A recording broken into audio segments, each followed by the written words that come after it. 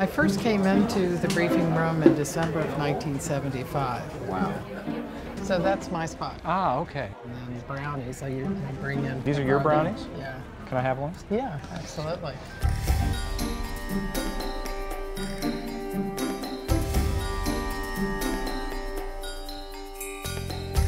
Uh, then these are the radio booths, CBS Radio. We have CNN.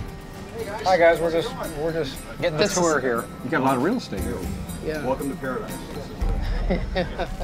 Oh, what is this? Yeah. The You Jim. Acosta show? yeah. they get more real estate than we do. Yeah. I don't know how they manage that. Well, we it got used- four in our part of the submarine down Yeah, here. yeah. the submarine. That's, that's what it's like. Yeah.